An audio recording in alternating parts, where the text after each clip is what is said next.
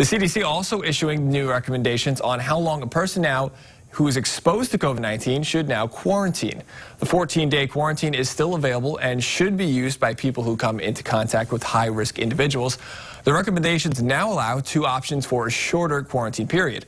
Quarantine can end after, after day 10 if the person hasn't had any COVID-19 symptoms.